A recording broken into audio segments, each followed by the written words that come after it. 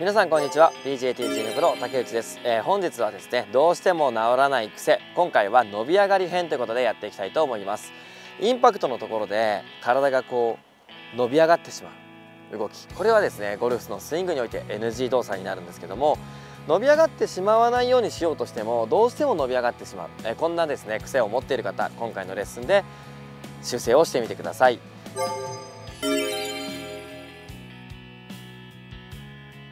えまずですね伸び上がってしまうとどういう球が出るかというとまあもちろんですねボールから体が離れるということでボールに届かないトップをしてしまうということですね。トップボールのミス。また体が伸び上がるということは手元が浮いてくるということはですねフェースが開きやすくなるということなのでスライスが出る。でその離れてきて届かないと思ったものを届かせようとして右手を使う。これフックが出ます。まあいろんな球筋ミスショットが出るんですけどもこの伸び上がりを修正していくためにまず気をつけていかないといけないのは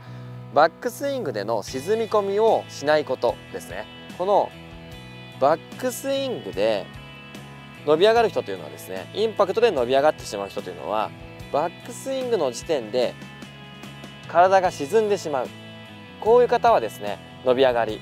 が出てきてしまいます。まずインパクトのポジションを考えるのではなくて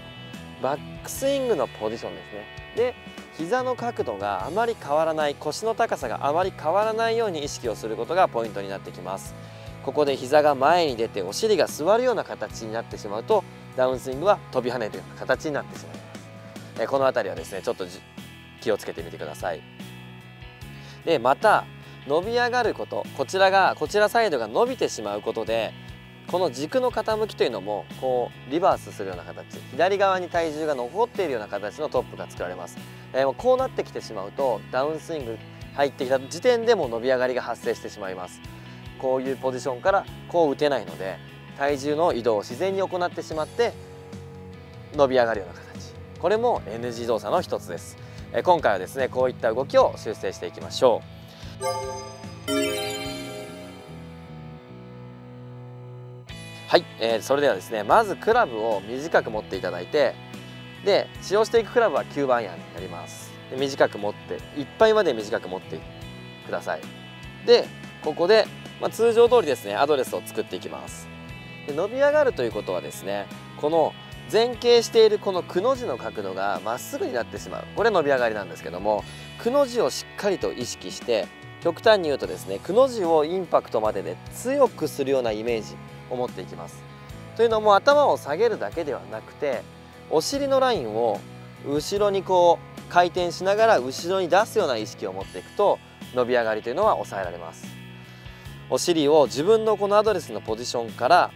さらに後ろに持っていくような意識です。こうするとですね自然に体っていうのは前傾をキープしようとするので、えー、伸び上がっている方はですねこのイメージを持ってください。それではですね意識しながら打っていきます。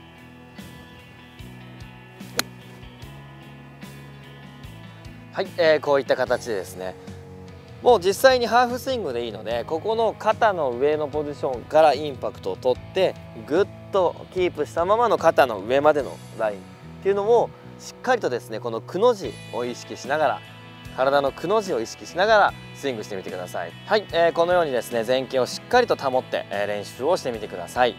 9番アイアンを極端に短く持つということ、えー、そしてバックスイングで沈み込まないようにするということダウンスイングでくの字をしっかりと意識してお尻を突き出すということですね。この3つをイメージしながらスイングの練習をしてみてください。はいということでですね以上で伸び上がりを修正するポイントについて、えー、レッスンを終わります。最後までご覧いただきありがとうございました。